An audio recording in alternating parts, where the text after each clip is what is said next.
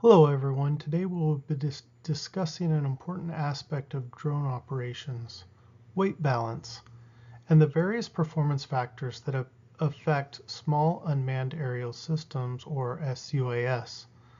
Understanding these elements is critical for safe and effective drone flights. Our objective today are twofold. First, we define the weight and balance in relation to SUAS operations and second, to analyze some uncontrollable performance factors that can influence flight. Let's start with weight and balance.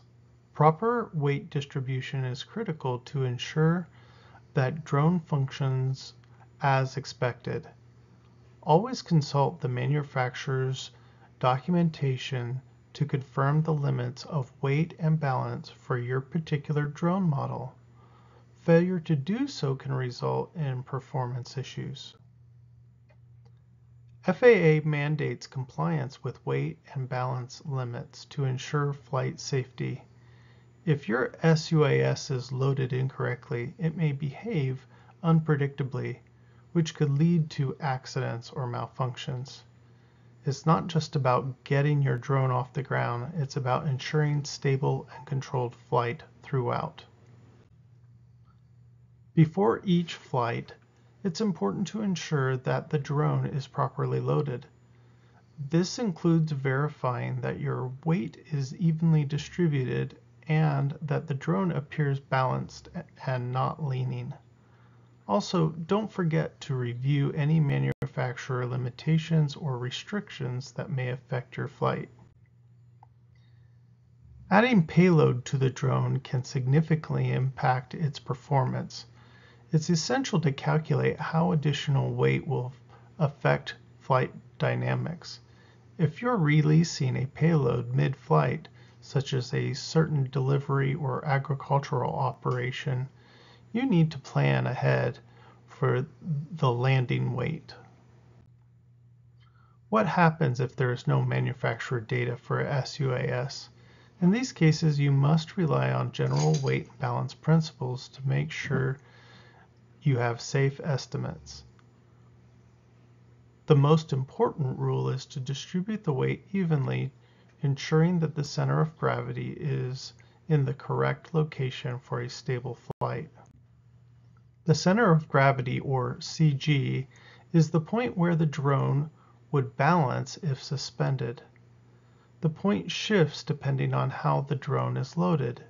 For a fixed-wing drone, for example, the center of gravity center of gravity is critical or may vary depending on specific design of the aircraft. If you exceed the weight and balance limit of your drone, you could face serious issues. It could, can reduce the effectiveness of your flight controls, causing instability and potential loss of control. Always be mindful of these limits when loading your SUAS. Now let's move to some uncontrolled performance factors. Beyond weight and balance, critical environmental conditions also play a role in the role in flight performance.